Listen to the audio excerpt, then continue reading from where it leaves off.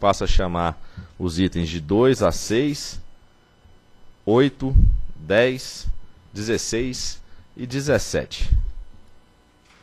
Item de número 2, processos 48.500, 4776, 2011, 55.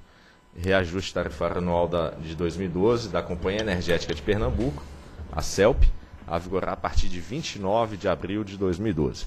Diretor relator, Dr. Romeu Donizete Rufino, informam que há pedido de sustentação oral.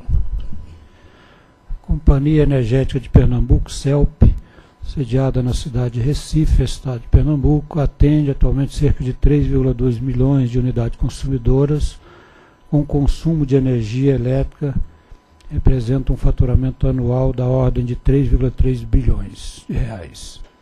29 de abril de 2011, as tarifas de fornecimento de energia elétrica da CELP foram reajustadas com efeito médio percebido pelos consumidores cativos em 8,27, isso reajuste médio 2011. A CELP encaminhou à ANEL proposta de reajuste tarifário anual médio de 8,22% a ser aplicada às suas tarifas de fornecimento de energia elétrica a partir de 29 de abril de 2012, sendo 8,24% relativo ao cálculo econômico e menos 0,02% referente aos componentes financeiros. Em 17 de abril de 2012, a Superintendência de Regulação Econômica, SRE, anuiu a nota técnica 103-2012 daquela superintendência, a qual condensa sua análise acerca do reajuste tarifário em tela. É o relatório. Então passa a chamar o excelentíssimo senhor deputado federal Eduardo da Fonte, e, na sequência, a doutora Michelle Collins, presidente da Sarvira.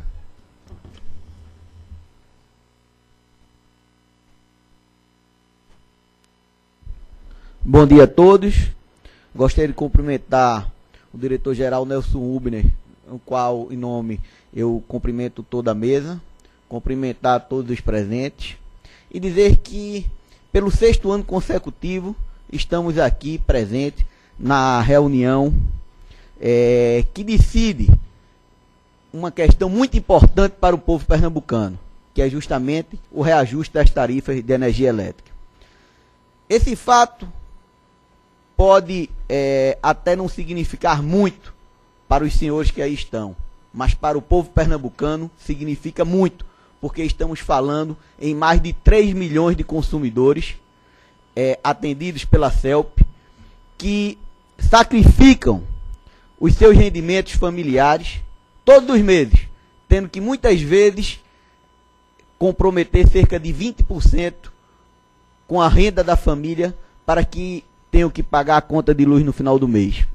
Estão acontecendo várias questões que esta agência precisa se pronunciar, principalmente porque são questões que já foram temas, inclusive de uma CPI na Câmara dos Deputados, CPI esta que teve um papel muito importante no setor energético do nosso país, porque foi a partir dela que nós começamos a discutir o preço da energia elétrica no nosso país.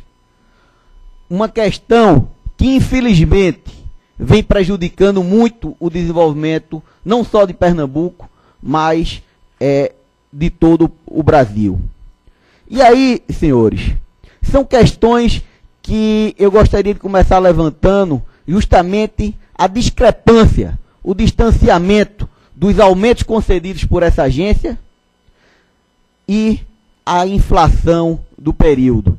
Por exemplo, o IPCA de 2002 a 2011 representou uma inflação de 87,56%. No entanto, essa agência concedeu um aumento de 130,99% de 2002 a 2011. Ou seja, 43% acima do IPCA. Isso representa diretamente o empobrecimento do estado de Pernambuco. Isso representa diretamente uma questão de desigualdade entre o ganho do poder, do poder aquisitivo da população e da diferença no qual a energia elétrica vem subindo. Ou seja, essa agência que tem um papel de regular o setor energético do país, não vem mostrando o seu verdadeiro papel, não vem mostrando para que veio, porque tive a oportunidade de quando, quando estava chegando aqui, ver que a missão da ANEL é ser uma agência para regular o setor energético do, país e uma agência em, benefício da sociedade. Eu vejo que em benefício da sociedade, infelizmente, essa agência não vem cumprindo o seu papel. Mesmo porque os reajustes estão bem acima da inflação. Mas não é só isso. O serviço dessa empresa distribuidora de energia elétrica, infelizmente, não melhora a cada ano.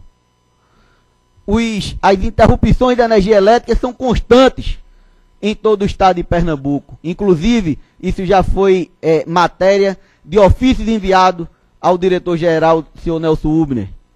Em oportunidade, é, no ano passado, que estive em Araripina, a energia elétrica em menos de 24 horas foi cortada por três vezes, por mais de uma hora de interrupção. Ou seja, não é só o preço da energia elétrica que é caro, é o serviço que é mal prestado pela empresa distribuidora do estado de Pernambuco, a CELP.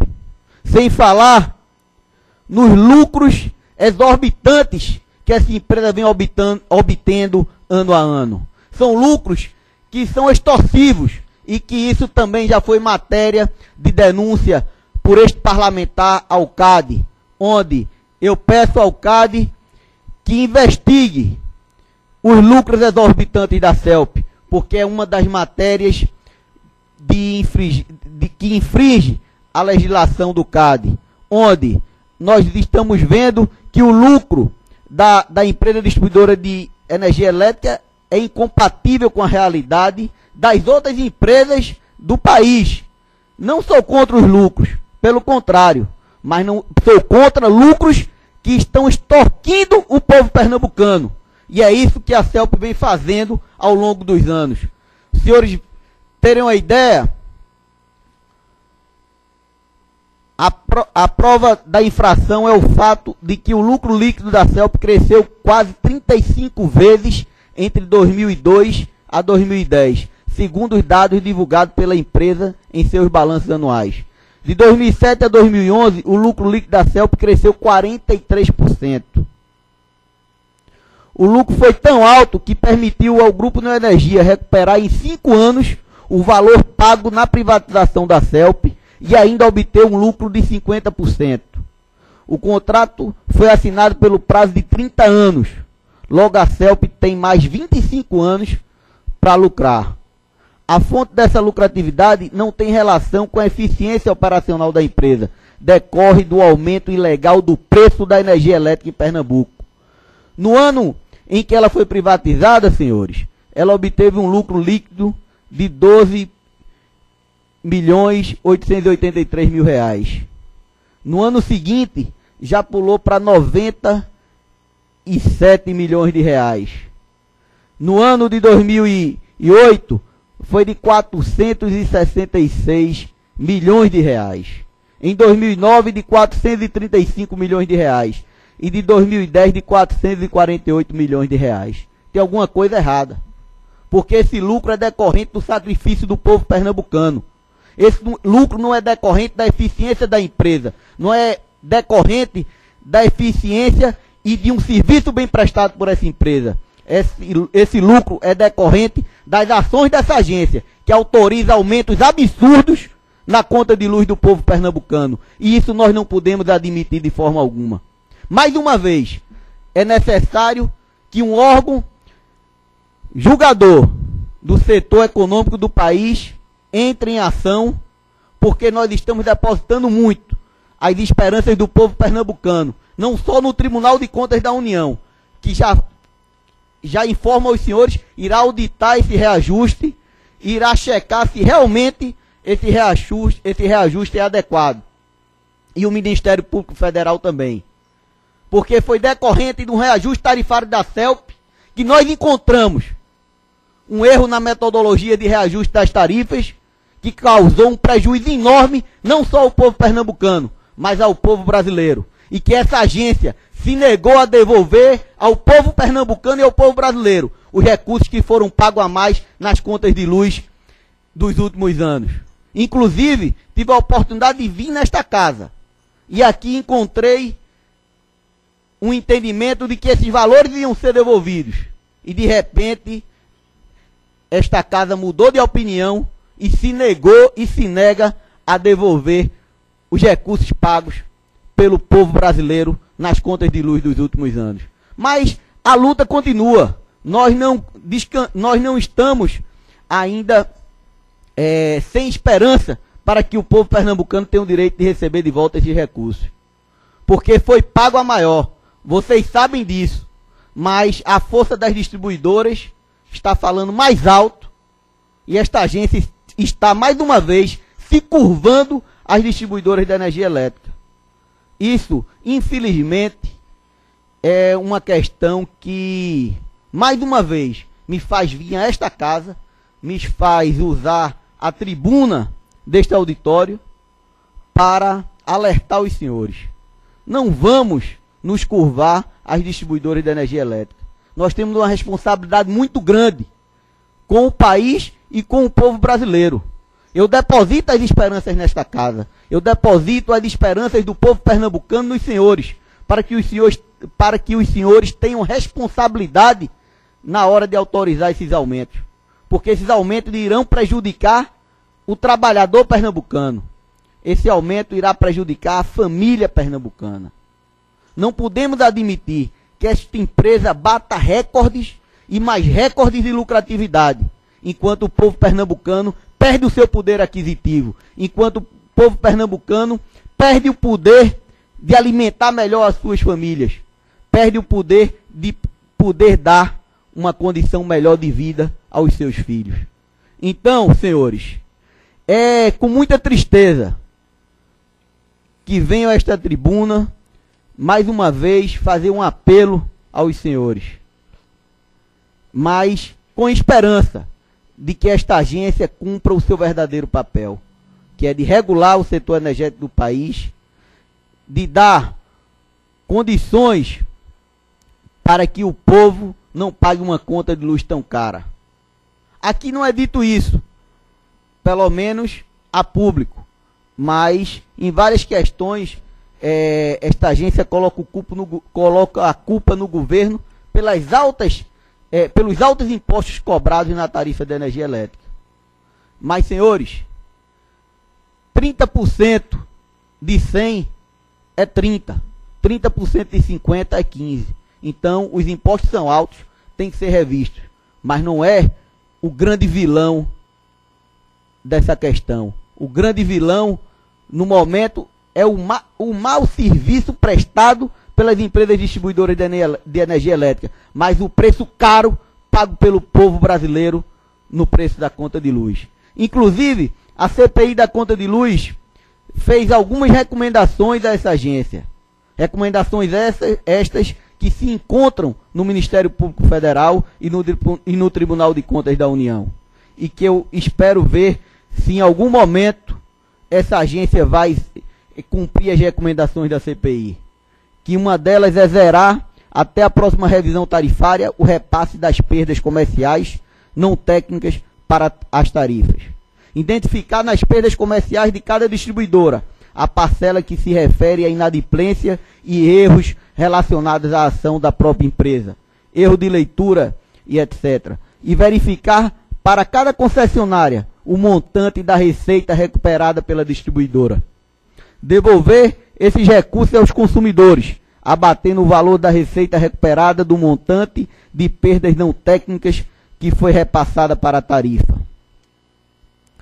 Congelar o atual nível de perdas técnicas, de maneira a evitar que as distribuidoras utilizem-se do artifício de aumentar as perdas técnicas para compensar a eliminação das perdas não técnicas. E traçar uma curva descendente para as perdas técnicas, de maneira a situá-las em padrões internacionais. Porque muitas vezes o que acontece por parte das distribuidoras é informar a agência dados que não condizem com a verdade, que não condizem com a realidade do serviço prestado nos estados. E esta agência tem meios para verificar e não acreditar simplesmente na questão que é dita pelas distribuidoras. Também a questão das perdas, que muitas vezes são recuperadas e não são repassadas para os consumidores. Inclusive, essa questão é a próxima questão que irei levar ao Tribunal de Contas da União, para que se faça uma auditoria, para ver se essas distribuidoras estão devolvendo aqueles créditos recuperados dos consumidores inadimplentes anteriormente e que quitaram seus débitos com as distribuidoras. Isso a gente pode estar falando em bilhões de reais que estão perdidos por aí e que esta agência não toma uma providência adequada para que o consumidor que paga sua conta em dia não tenha que pagar por aquele que não está pagando. Isso é um dos maiores absurdos que nós temos nesse sistema. E esta agência poderia muito bem modificar. Eu não posso ter uma conta no banco e pagar o, o prejuízo de outro, ao banco o prejuízo de outro cliente que não pagou o empréstimo. Isso acontece no sistema energético do nosso país. E é dever dessa agência modificar essas questões, esses entraves que acontecem só no Brasil e que infelizmente já passou o momento e o momento é que possamos modernizar o sistema energético do nosso país, dando segurança aos consumidores, porque os consumidores não aguentam mais pagar a conta da ineficiência das distribuidoras. Os consumidores não aguentam mais ser a parte mais fraca, a parte que arrebenta e que tudo é culpa dos consumidores. Tudo quem paga a conta são os consumidores. As, as distribuidoras têm que ter a responsabilidade da eficiência das suas empresas. Elas têm que ter a responsabilidade de quem é que. De que forma elas vão proceder com os seus clientes inadimplentes. A culpa não é do cliente que paga a conta, não é do trabalhador que sacrifica o seu dinheiro para pagar a conta no final do mês. Então, senhores, esta agência, mais uma vez, vai decidir o reajuste tarifário da CELP e, mais uma vez, eu venho a esta tribuna pela sexta vez consecutiva lembrar os senhores. Os senhores estão decidindo o futuro do orçamento de mais de 3 milhões de famílias de Pernambuco. Então, tenham responsabilidade na hora de conceder esses aumentos e honrem o que está escrito na escadaria desta agência. Que essa agência tem o um papel de regular o setor energético do país em benefício da sociedade brasileira e não em benefício das distribuidoras de energia elétrica. Muito obrigado.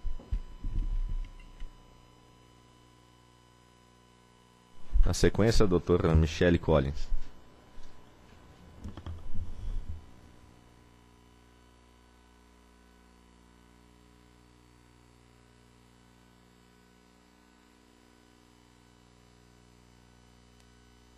Bom dia. Queria também cumprimentar o senhor Nelson, diretor-geral, né, e toda a mesa, todos os presentes também. E deixar aqui também registrada a nossa a nossa ansiedade também, a nossa indignação com o que vem acontecendo ali em Pernambuco, principalmente na capital, Recife, onde a população vem sofrendo com, os, com o aumento abusivo e a questão também muito forte que marca a, o serviço da CELP em Pernambuco é essa questão do desserviço.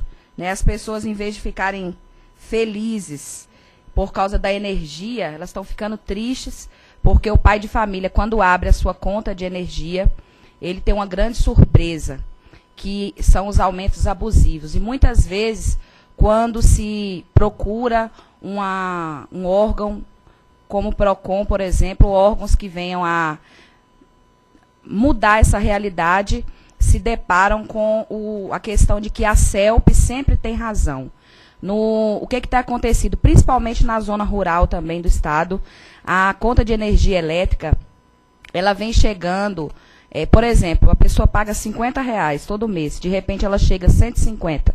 Aí a pessoa vai reclamar que não tem condições de pagar os 150 reais, e aí o que ela tem de resposta é porque não teve, é, as pessoas não chegaram lá para medir para deixar o medidor em dia, então por isso que tem um ajuste muito alto de uma vez só. E aí a pessoa tem a obrigação de pagar, né? Se não tem o seu nome é, sujo. E isso tem acontecido com muitas famílias, a realidade de muitas famílias carentes.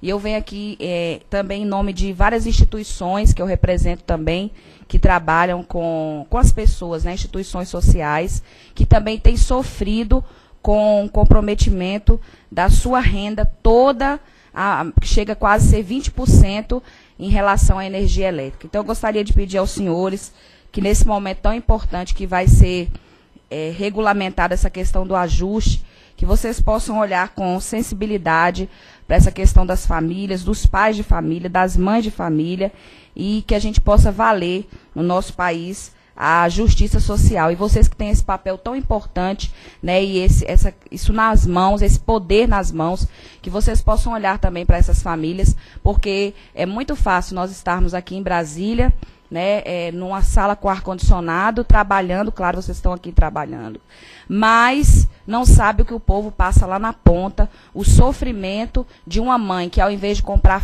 leite para o seu filho, ela tem que pagar uma conta de energia. Então vamos fazer trazer esse equilíbrio na questão da justiça social e eu peço aí que vocês, por favor, olhem para esse povo com carinho, com amor, vocês têm essa oportunidade nas mãos. Eu creio que vocês estão nessa posição hoje, cada um de vocês, senhores, foi até uma permissão de Deus para que vocês também possam estar assim ajudando essas pessoas. Então eu agradeço a todos e um bom dia.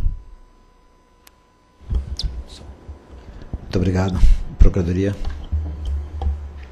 Importante destacar que a competência dessa agência para fixação das tarifas, seja de reajuste ou revisão tarifária, decorre do artigo 3 da Lei 942796, que faz remissão ao artigo 29 da 8987 de 95, que estabelece a competência para homologar reajustes e proceder à revisão nos termos da lei e das normas pertinentes do contrato de concessão. Da mesma forma, estabelece o artigo 15 da Lei 9427/96, retirando discricionariedade dessa agência ao fixar as tarifas, diz o seu inciso 4 em ato específico da ANEL que autorize a aplicação de novos valores resultantes de revisão de reajuste nas condições do respectivo contrato.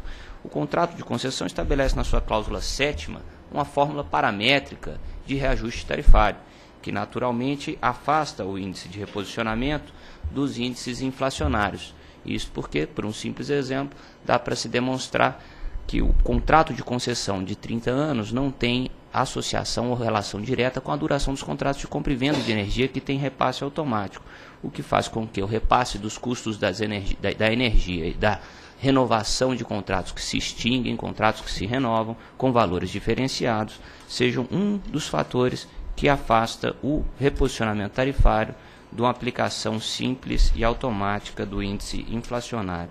São as cláusulas, portanto, do contrato de concessão que estabelecem a forma como se dá o reajuste e segundo as quais se vincula esta agência na sua observância. Cumpre destacar também que a política tarifária de benefícios é, sociais é uma medida de reserva legal, feita por lei ordinária, nos termos do artigo 175, parágrafo único da Constituição Federal, não competindo, portanto, a esta agência estabelecer medidas de justiça social via reajuste tarifário.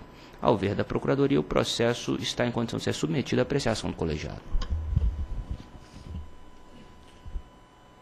Um consoante demonstrado na nota técnica número 103 da SRE, Superintendência de Regulação Econômica, o índice de reajuste tarifário médio da CELP resultou em 7,71%, dos quais quase a sua totalidade com os aspectos econômicos e apenas 0,01% dos itens financeiros.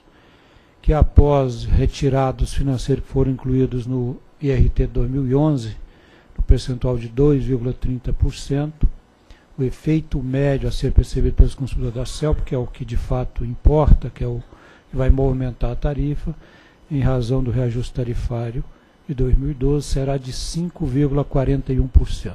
Isso é o efeito médio para o conjunto dos consumidores. E a tabela aí do item 7, ele mostra qual é o efeito nos diversos grupos de consumo. O A1 tem uma variação maior de 8,11, a 3, 3,57, o A4, 5,87 e o a alta tensão então no, no, na média 5,41 e o baixa tensão, né, que é onde está o residencial, comercial, rural, de 5,41, que deu exatamente a média 5,41.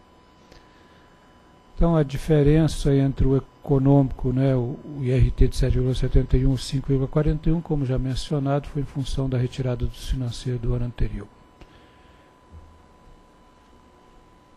É, fatores que foram considerados, então, no, no, na espécie, quer dizer, no percentual médio do IRT, Índice de Reajuste Tarifário, foi de 7,70, dos quais 6,43 dizem respeito à variação dos custos da parcela A e 1,27 atualização da parcela B.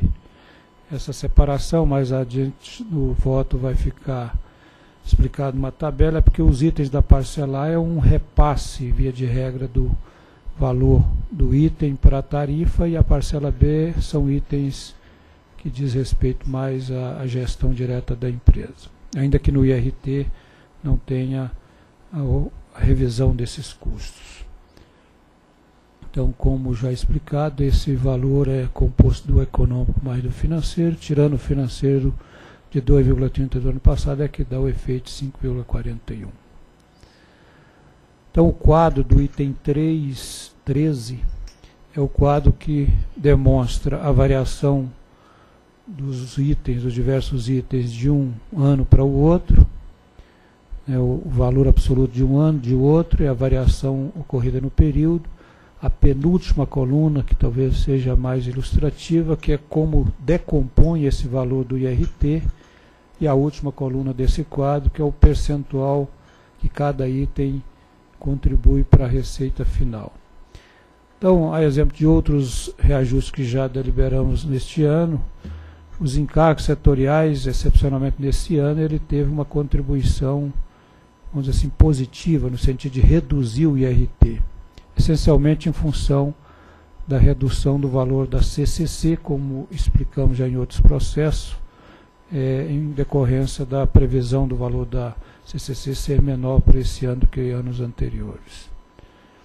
Depois tem o custo de transporte de energia, tem uma variação muito pequena, 0,33 no IRT, 5,68 a variação e o principal item que é os, a compra de energia. Esse é exemplo de outros processos, é o que mais impactou o IRT. De forma que eh, teve uma variação de pouco mais de 16% e que impactou em 7,7% o IRT. É disparado o item mais impactante. Então, a somatória dos itens da parcela A, o 6,43, que o da parcela B 1,27, que totaliza os 7,70. Depois o conjunto dos itens financeiros aí que dá aquele valor líquido de 0,01 e retirado financeiro do ano anterior, chega ao efeito da alteração da tarifa, que vai ser sentido pelo consumidor, que é, o, como eu disse, que importa, o 5,41. Ou seja, em média, a tarifa da CELP vai aumentar em 5,41. Então, a variação dos custos da parcelar, já mencionei, que representa 65% da receita econômica da concessionária, participarão de 6,43% em 7,7% do IRT econômico. Decorre principalmente dos seguintes itens. O principal deles, como mencionei, a compra de energia.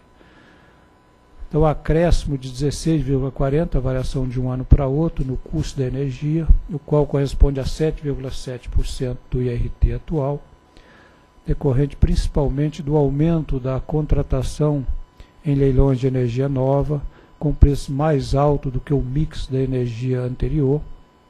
Nesse sentido, enquanto a participação percentual na cesta da contrato de energia da CELP do CCAR, energia existente, passou de 47% para 39%. Deu preço médio nesse reajuste de R$ 100,99 por megawatt-hora. e do CCAR Energia Nova foi de 26% para 33%, o preço médio de 177,39.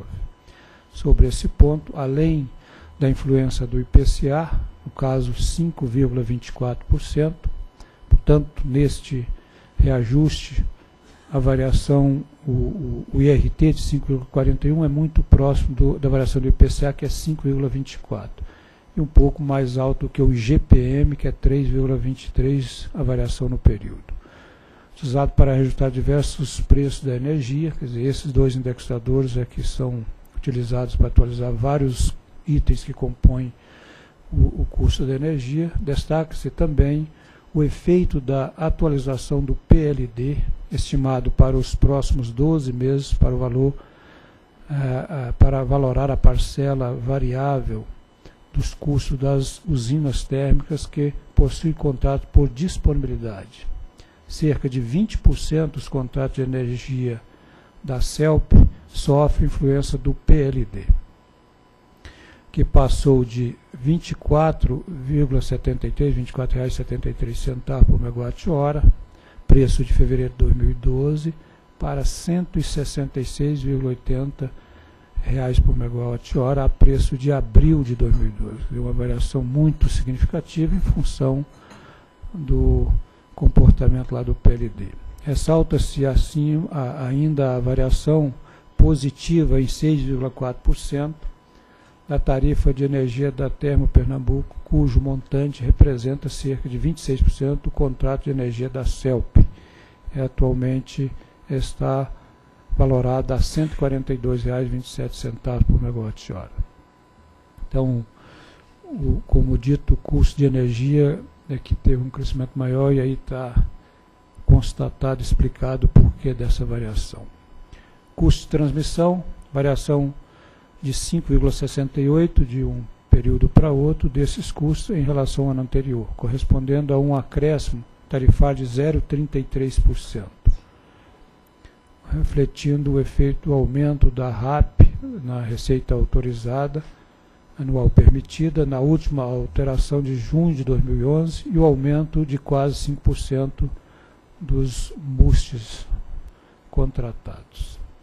No caso dos encargos setoriais, como já comentei, o valor total dos encargos reduziu em 14,90% a comparação de um ano para outro, correspondendo a uma variação tarifária média de menos 1,60, no caso o encargo então contribuiu para a modicidade tarifária, é, é, destacando-se a redução do quase 50% em relação ao ano anterior da cota anual da conta da CCC, em decorrência da consideração de custos unitário proposto para o exercício 2012 de R$ 7,75 por megawatt-hora, inferior ao custo unitário de 15, quer dizer, foi na verdade a metade exatamente, utilizando, utilizado em 2011.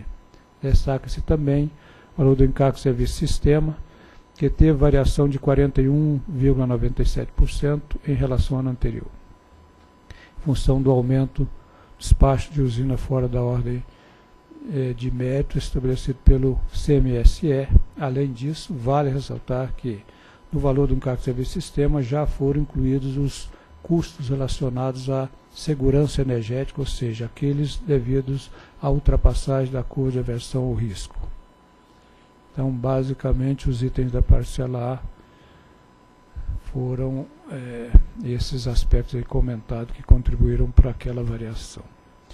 Já com relação à parcela B, então, para a atualização da parcela B, considerou-se a variação acumulada do IGPM, que é o indexador, no caso da do custo da parcela B de 3,23% relativo ao período de abril de 2011 a março de 2012, que subtrair do fator X, no caso da CELP, de 0,24%, resultou em 3,47%.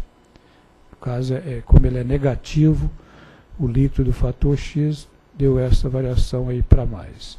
O valor do componente XE para o atual ciclo tarifário da CELP foi fixado em 0,37 positivo pela resolução homologatória 815/2009, aquela resolução que homologou a última revisão tarifária da concessionária. Por sua vez, o componente XA do fator X, recalculado em cada reajuste tarifário anual da forma do anexo 6 da Resolução Normativa 234-2006, foi de menos 62, resultado pela, é, resultando para a CELP o fator X total de menos 0,24, como pode ser verificado na tabela abaixo. A tabela, então, decompõe o fator X como demonstrado. É, e aqui no caso XA foi negativo exatamente porque a variação do IPCA foi superior ao IGPM. É, esse fator XA é o que captura a diferença da variação dos dois índices para alguns custos que compõem lá a parcela B. Os gráficos a seguir apresentam a participação de cada segmento do custo de composição da receita da CELP. Quer dizer, na verdade, o primeiro gráfico com sem os tributos e o segundo com os tributos. Então, o primeiro gráfico mostra que para o valor final da tarifa, que é o valor sem os tributos incidentes sobre receita, o principal componente disparado é o custo da energia, 50,8% do valor final da tarifa. O segundo elemento que mais contribui para o valor da tarifa é o custo da distribuidora, chamada parcela B. Os custos de transmissão têm um valor relativo baixo, 5,7%, e os encargos setoriais, 8,5%, assim que compõe a tarifa da, da CELP. Quando é, soma ao valor da tarifa os tributos incidentes sobre receita, ou seja, ICMS, PIS e COFINS, é, aí a participação relativa se altera da forma como está demonstrado. Aí no caso do Estado de Pernambuco, o ICMS tem um peso em média de 21,8%, PIS e COFINS 5,4%, a somatória dos dois, o que dá então 27,2%, que é o preço final, não a tarifa, mas o preço final, que é o que importa, que é o consumidor paga. Com relação ao componente financeiro, tem aí um conjunto de observações, mas como mencionado, o valor líquido representa apenas 0,1% no período. Está explicado a composição do valor. Aí no item 20 cabe aí uma explicação que é relevante. Então, tendo em vista o disposto na Resolução Normativa 472-2012, que estabeleceu nova metodologia de apuração e custeio da diferença mensal de receita das concessionárias e permissionárias de distribuição decorrente da aplicação da tarifa social de energia elétrica aos consumidores integrantes da subclasse, subclasse denominada residencial baixa renda, foi considerado componente financeiro denominado previsão subsídio baixa renda no valor de 16 milhões 403 mil reais, pouco mais que isso, equivalente ao limite de custeio de 0,5% da receita econômica anual da concessionária. O montante mensal que exceder do décimo deste valor será custeado com recurso proveniente da CDE. Você observa aquela regulamentação que é, limita-se o subsídio cruzado dentro da própria distribuidora e o valor que excede esse limite é custeado pelo fundo CDE. Também foi apurado o ajuste compensatório correspondente à revisão, à, à reversão da previsão de subsídio de é, baixa renda, concedido no processo de reajuste anterior da CEP, no caso de 2011, e sua substituição pelos valores definidos definitivos apurados e validados pela SRC, Superintendência de Regulação da Comercialização da Eletricidade. O valor negativo resultante, no caso de 16,8 milhões de reais, foi revertido ao consumidor como componente financeiro no reajuste em processamento, de forma que não há ajuste compensatório a ser custeado com o recurso da CDE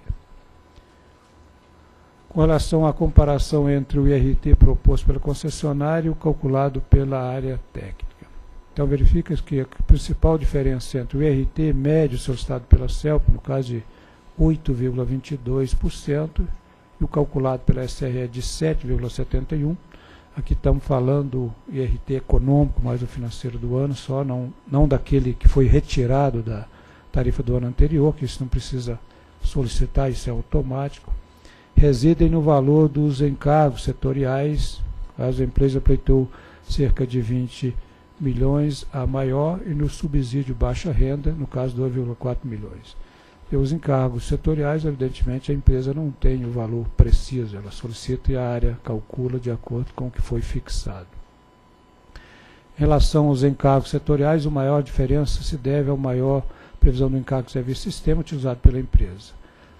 Há que ressaltar que, em relação ao novo custo unitário da cota anual da CCC, que passou a ser de R$ 7,75 por megawatt-hora, já foi incorporado no pleito da própria CELP. Quanto à diferença referente ao subsídio de baixa renda, apesar da empresa já utilizar em seus cálculos a nova metodologia estabelecida pela Resolução Normativa 472, 2012, limitando o componente financeiro, previsão subsídio de baixa renda, no caso da CELP em 0,5% da receita econômica da concessionária, a CELP considerou valor diferente em relação aos recebidos da CDE durante o período de referência. Passo ao dispositivo do voto. Diante do exposto, considerando o que consta do processo, voto pela emissão de resolução homologatória na forma da minuta anexo, com o objetivo de homologar o reajuste tarifário anual a ser aplicado às tarifas da CELP a partir de 29 de abril de 2012, que representa um efeito médio de 5,41% sobre as tarifas atuais. Esse IRT, esse reajuste 5,41%, está composto pelos índices médios de reajuste econômico, como já explicado, 7,70%, acrescido do índice médio correspondente aos componentes financeiros incluído neste reajuste, 2012, que foi de 0,01%, e retirado o índice médio de 2,3% relativo aos componentes financeiros considerados no processo tarifário do ano anterior. Também fixar as tarifas de uso do sistema de distribuição, TUSD, estabelecer o valor da taxa de fiscalização do serviço de energia elétrica e da receita anual referente às instalações de conexão, aprovar os valores da CCC, cota da sistema isolado, e da previsão anual dos encargos de serviço sistema e da energia de reserva, para o período de 29 de abril de 2012 a 28 de abril de 2013. E, por último, estabelecer um montante a partir do qual a diferença mensal de receita deverá ser com, é, custeada com recurso proveniente da CDE, decorrente da aplicação da tarifa social de energia elétrica aos consumidores integrantes da subclasse residencial baixa renda, de acordo com o artigo 6 da Resolução 472 de 2012. É o voto. Ok, discussão?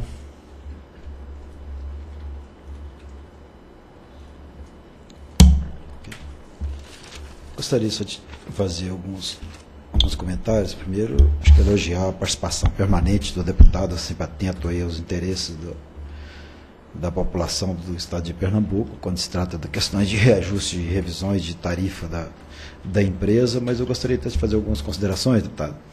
Ele colocou que é, que a ANEL não vem mostrando a que veio, a agência não cumpre o seu papel, a agência autoriza aumentos absurdos para a CELP, e é explicar novamente como que funciona, ou seja, a ANEL não tem a prerrogativa de fazer leis, a ANEL não tem prerrogativa de definir políticas para o setor brasileiro, obviamente cabe isso, a política ao Ministério de Minas e Energia, e cabe ao Congresso Nacional emitir as leis, leis que temos que cumprir rigorosamente. Então, infelizmente, às vezes a gente fica reage, não concorda com uma lei, quando prorroga uma, uma RGR, quando muda um sistema de colocação da CCC, que impactou em 4% as tarifas dos consumidores do restante do Brasil. Mas isso é questão de política e ações que são desenvolvidas pelo governo, que vão para o Congresso, o Congresso aprova e nos cabe cumprir e cumprimos rigorosamente. Nos cabe cumprir rigorosamente, inclusive os contratos, todos eles foram celebrados desde a época de privatização, de compra de energia, inclusive contratos com os quais a gente não concorda com a, com a forma que foram celebrados, mas que eram absolutamente legais dentro de uma realidade de uma legislação que existia no Brasil. E nós não temos o poder para romper esses contratos. Cumpre a ANEL, zelar por, pelo atendimento de energia ao Brasil, e isso se faz respeitando os contratos, respeitando tudo que tem na nossa legislação. Só algumas correções, ou seja, inclusive nos incomoda muito a questão da assimetria tarifária, que acaba levando tarifas mais elevadas para estados mais pobres do Brasil, para as regiões, principalmente a gente precisa de um nível de investimento mais elevado, e com isso, isso vai para uma base de remuneração que remunera as empresas, e isso acaba impactando mais tarifas de estados onde há necessidade de um investimento maior. Eu fiz questão, até porque o deputado citou que a tarifa do Estado aumentou 137% contra 70 e 80 e poucos por cento do índice de inflação, né, não lembro mais o número exato, dizer o seguinte, que a, por exemplo, para os estados, nós temos no conjunto das empresas brasileiras, quer dizer, mais da metade das empresas que atuam no Brasil tiveram reajustes exatamente nesse período de 2002 para cá, inferiores aos dois índices de inflação, tanto IPCA como IGPM. E alguns estados e algumas áreas de concessão tiveram reajuste acima, inclusive, do GPM. São poucas empresas, são duas, quatro, seis, sete empresas. Aí nesse conjunto são o quê? Exatamente empresas menores, onde tem uma área de concessão menor, ou seja, tem uma receita menor, e isso acaba levando o quê? Que o custo dessa empresa tem que ser rateado para aqueles consumidores, os consumidores acabam pagando e tendo um reajuste mais elevado. Quer dizer, nesse conjunto estão pequenas distribuidoras como Nova Palma, Eletrocar, acho que de empresas maiores tem a Eletroacre, no estado do Acre, que tem nível de investimento muito elevado no estado pequeno. É, Sulgip, que também é uma empresa pequena no norte. Chesp, que é o São Patrício. No caso da CELP, a CELP está situada numa faixa intermediária. Ela tem um reajuste nesse período, você considerar o consumidor de baixa renda de 80 e, 88%, cadê o valor correto aqui? 88% nesse período quando o IGPM teve um aumento de 107,76% e o IPCA 79%, ou seja, está tá num patamar um pouco acima do IPCA e bastante abaixo do IGPM que teve nesse, nesse período. Agora, claro que o deputado também sabe que as parcelas, quer dizer, a parcela B, que a gente chama, que é a parte do que é a receita da, da distribuidora, os seus custos são reajustados ainda por força do contrato por IGPM. Então ele tem uma parcela que é IGPM e tem uma parcela que a distribuidora não faz, é, não tem qualquer interferência na legislação de hoje, né, com a mudança na lei do setor elétrico que se deu a partir da 10848, que é compra de energia. Antes a empresa tinha a liberdade da, da, contratação de energia, o que levou, inclusive, à contratação da própria Termo Pernambuco, que o senhor tanto já discutiu, rebateu, que a gente também não concordava com aquela regra, mas era uma regra, que era no país, era assim, a distribuidora era responsável por contratar energia e se permitir contratar 30% da, da energia do seu mercado, de, inclusive com partes relacionadas. Era uma regra que existia, não existe mais no Brasil. Hoje você vai ter um impacto maior no reajuste da CELP é, de contratos de energia nova, pelos quais a empresa não tem qualquer ingerência, ou seja, ela declara quanto que ela precisa de energia, essa energia é contratada num leilão de energia nova, regulado, e ela simplesmente recebe a quantidade e esse valor é repassado para as tarifas dela, como manda a nossa legislação. Então tem esse aspecto que a gente está cuidando e que eu acho que o Brasil vai conseguir, acho que diminuir um pouco os custos das, das empresas com a renovação dos contratos de concessão de energia velha, que com certeza isso deve ter uma redução do que a gente chama da parcela A da, da distribuidora, que no caso da CELP, ia colocar aqueles dois gráficos lá, ou seja, tem um peso bastante relevante, ou seja, tanto no, quando a gente considera a avaliação então, sem tributo, que é metade do custo então, da, da energia lá é do compra de energia, 50,8%, quanto a distribuição corresponde a 35%, o gráfico. Isso, isso. Né? E tem uma parcela grande de encargos setoriais que que a gente, ou seja, tem alguns deles que, que fala assim, ah, é ruim, tem muito encargo, mas tem encargos que são bons. Você pega uma CDE, por exemplo, mesmo aí, que metade dela está pagando o consumidor de baixa renda, no qual a ANEL teve uma atuação, inclusive, solicitando junto ao Ministério que modificasse, inclusive, a forma de, que pudesse ser computado esse subsídio para a tarifa de baixa renda, que está nos permitindo hoje, nas empresas onde que baixa renda tem um impacto maior, a gente retirar todo o custo, ou seja, tirar tudo dessa, da base da tarifa e julgar isso tudo com recurso da CDE. Se a gente está fazendo isso hoje, ou seja, nas empresas que já têm o custo de, da baixa renda muito baixo, por exemplo, você pegar uma Eletropaulo, uma empresa aqui de Brasília, a SEB, que se for olhar nesse gráfico aqui, pena que a gente não consegue projetar lá, que ao longo desse mesmo período de, de 2002 a 2011 tiveram reajustes, ou seja, a faixa de 25, 30, 30 e poucos por cento no reajuste de preço de energia, porque tem o quê? Uma base muito consolidada, pouca necessidade de investimento e um mercado muito forte que cresce muito, então o custo da tarifa fica muito baixo.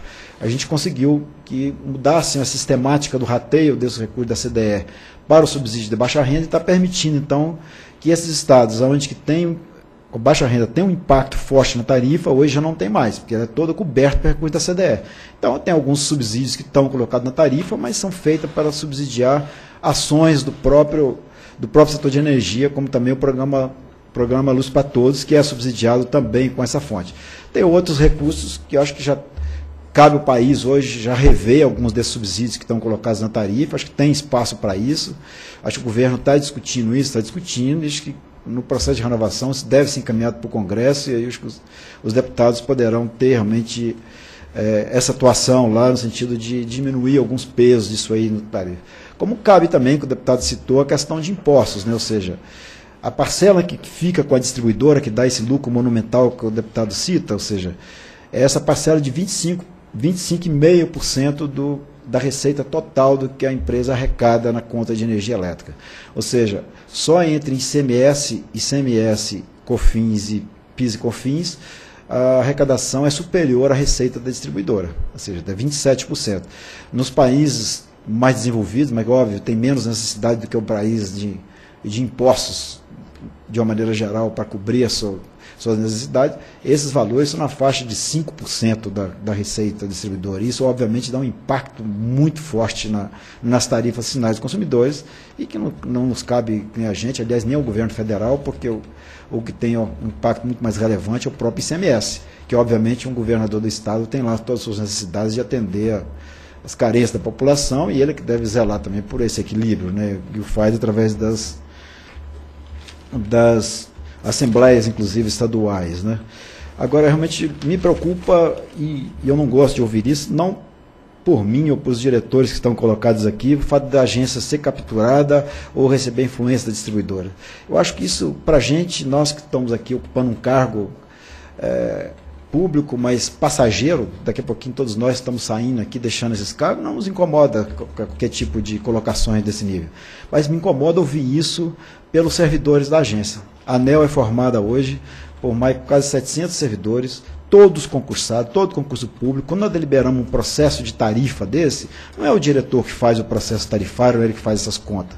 Tem uma equipe de servidores públicos muito zelosa dos seus deveres, que calcula isso com todo o rigor técnico, com tudo que tem. Às vezes ficam incomodados também quando dá um reajuste grande, como nós ficamos também, mas não adianta. Quando tem, tem que cumprir, cumprir rigorosamente que estão os contratos de concessão e tem certeza ficam bastante ofendidos quando escutam uma coisa dessa que levanta alguma suspeição sobre o trabalho que eles fazem, que eles estão favorecendo alguma empresa, favorecendo alguma agência. Tenho certeza que todos eles se sentem sentem bastante ofendidos com colocações desse nível, porque eu conheço, estou aqui dentro, relaciono com todos os servidores e sei da, da forma como eles cuidam de cumprir as suas tarefas, cumprir o seu trabalho.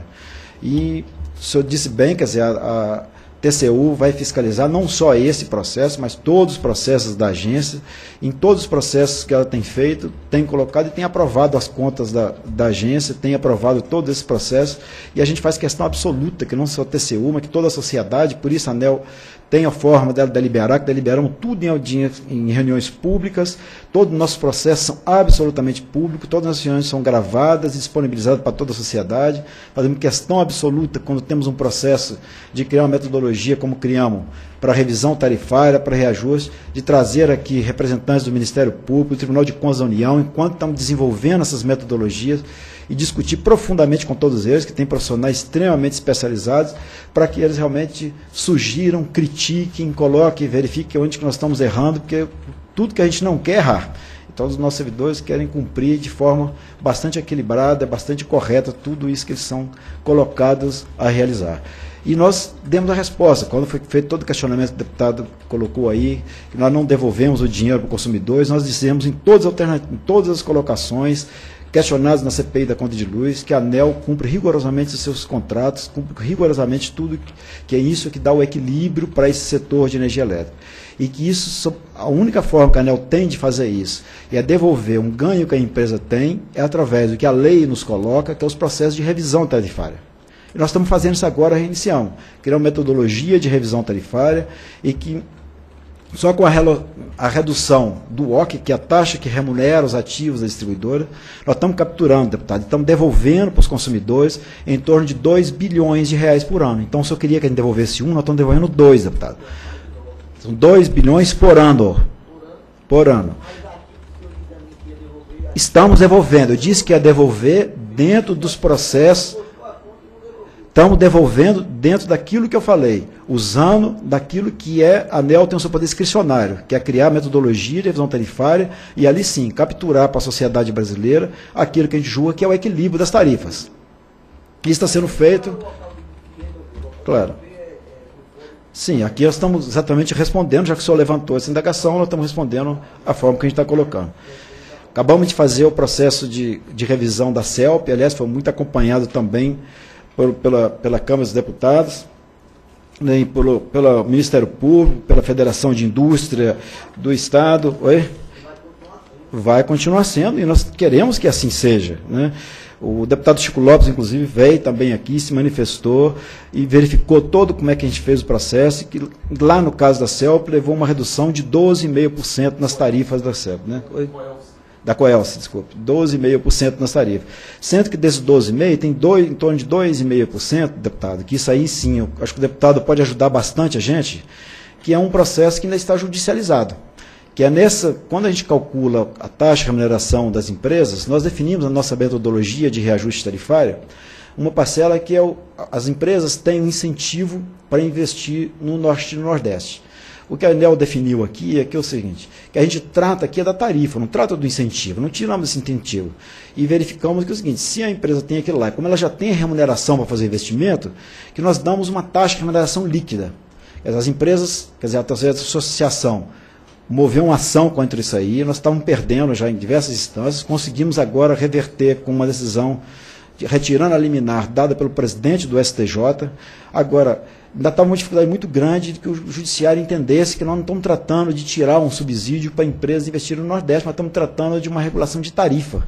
Eu acho que se isso ganha eco, acho que através do próprio poder legislativo, através das ações de vocês, nos ajuda também nessa dificuldade de explicar para a sociedade que isso sim é um equilíbrio. Porque esses 2% se a gente não consegue tirar, esse sim vai aumentar o lucro das empresas, vai aumentar o lucro de todo mundo e nós não podemos fazer nada. Se houver uma decisão judicial contra a metodologia que a ANEL aprovou. Então, acho que nós conseguimos sensibilizar o Ministério Público, o Ministério Público também agora entrou na ação em defesa do posicionamento da ANEL. Eu, um deputado Chico Lopes que esteve aqui disse que faria o mesmo movimento através da Comissão de Defesa do Consumidor.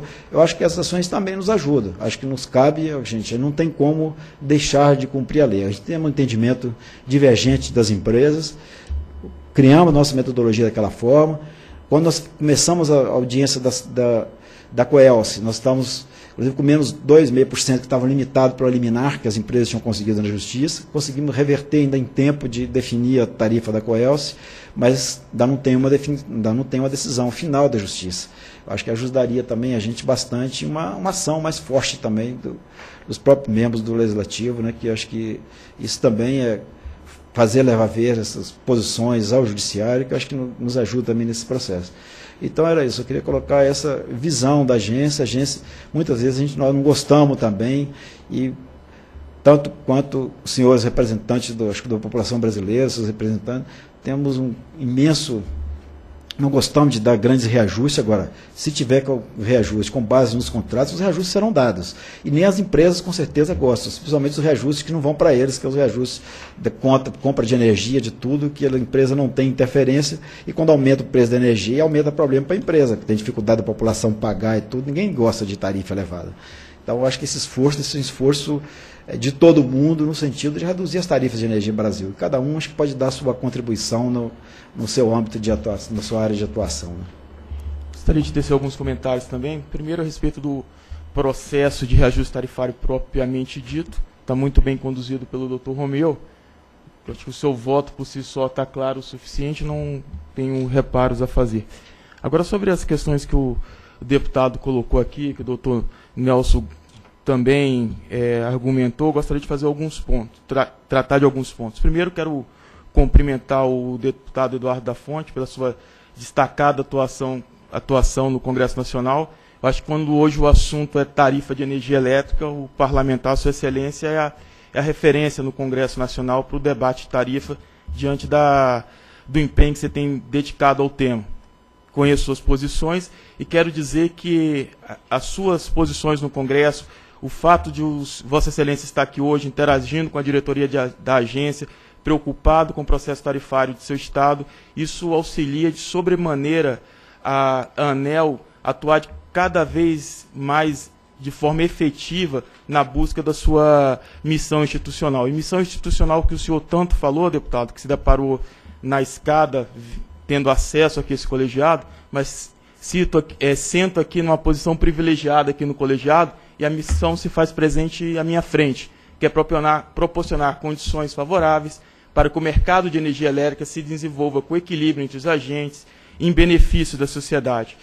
E para se desenvolver com equilíbrio entre agentes em benefício da sociedade, nós temos aqui nessa casa que respeitar contratos. E aí eu faço coro ao que o diretor-geral acabou de colocar. O respeito ao, aos contratos que essa agência procura seguir é, é, o nosso princípio, a nossa forma de atuar, e nós buscamos esses respeito, o respeito a esses contratos diuturnamente. Quem, quem trata da política energética é o Ministério de Minas e Energia, por meio do Poder Executivo, leis emanadas do Congresso Nacional, estabelecida a política, nós é, a exercemos. E o fato de respeitarmos os contratos, eu vou citar para o senhor, deputado, dois pontos relevantes.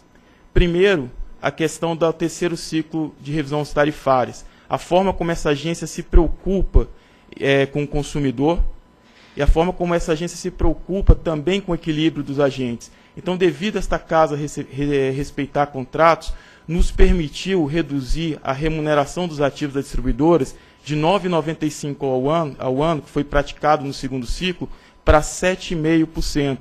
E aí é o que o diretor-geral coloca com muita propriedade. Essa redução implica em uma redução nas tarifas de 2 bilhões ano. Ou seja, pelo fato de estamos respeitando o contrato, nós estamos reduzindo os 2 bilhões ano em prol do consumidor de energia.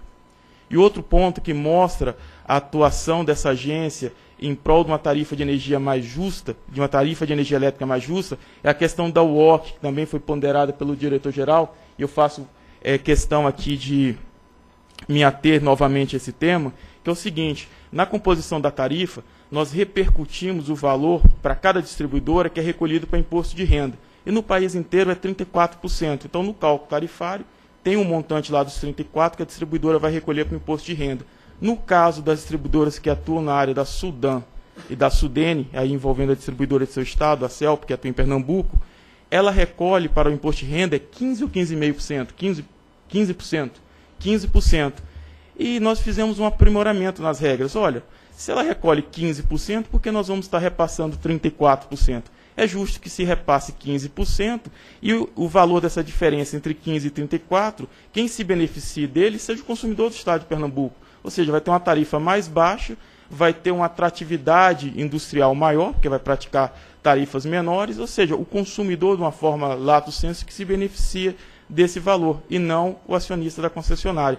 E assim atuamos, a história o senhor conhece, estamos sendo questionados, perdemos em diversas instâncias. E, por último, agora no STJ, com a atuação brilhante dessa agência, da área técnica, doutor Davi, do nosso procurador-geral, doutor Márcio Pina, de toda a diretoria empenhada, conseguimos reverter essa decisão, ou seja, conseguimos um liminar que está fazendo valer as regras da, tarifárias da ANEL e, e, o julgamento final vai ficar para o mérito, né, a conclusão do mérito. E aí é o que o doutor Nelson colocou. No processo tarifário da Coelce, que é a primeira distribuidora de energia a passar pelo primeiro ciclo, isso implicou uma redução tarifária na Coelce sem a liminar de, 10, de menos 10,8% e é, com a liminar vigente, quando caçamos a liminar, que foi um dia após o processo tarifário, nós estamos aplicando uma redução tarifária média de menos 12,20%. Então, diante desses dois exemplos, Sua Excelência pode ver que essa agência está se dedicando, está trabalhando em levar o, o, o, setor de energia elétrica com equilíbrio. E com equilíbrio tanto para o lado das distribuidoras como para o lado dos consumidores. Por que, que eu digo para o lado das, distribu das distribuidoras? Das distribuidoras e de qualquer outro agente, seja ele de geração ou de comercialização. O que se busca aqui é regras claras. Apresenta-se as condições, olha, as coisas para investir investimentos são de longos, longo, matura em 30, 35 anos. Então, qual é o dessa agência? É fazer valer aquelas condições de entrada durante os próximos 30 anos. E diante disso que a agência tem conseguido imprimir, e aí a minha avaliação pessoal com certo êxito, nós conseguimos reduzir ao WOC na, na, distribuição, conseguimos reduzir ao WOC na transmissão, isso repercute na tarifa.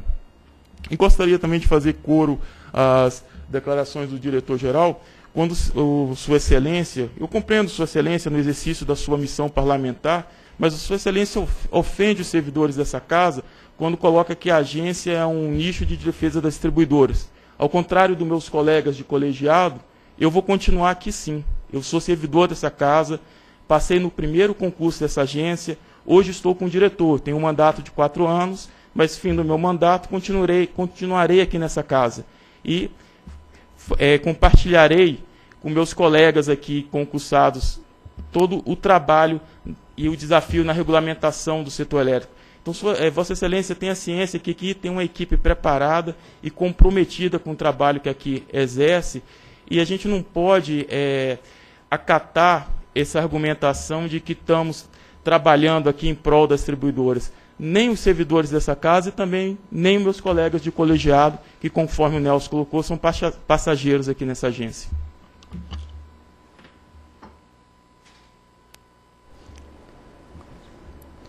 Quem em votação? Voto com o relator. Também voto com o relator. Também voto com o relator. Dito distante decidiu homologar o reajuste tarifário anual aplicado à Companhia Energética de Pernambuco a partir de 29 de abril de 2012, que representa um efeito médio de 5,41 sobre as tarifas atuais, sendo composto pelo índice de reajuste econômico de 7,7, que com os retirados dos financeiros chega nesse índice de 5,41.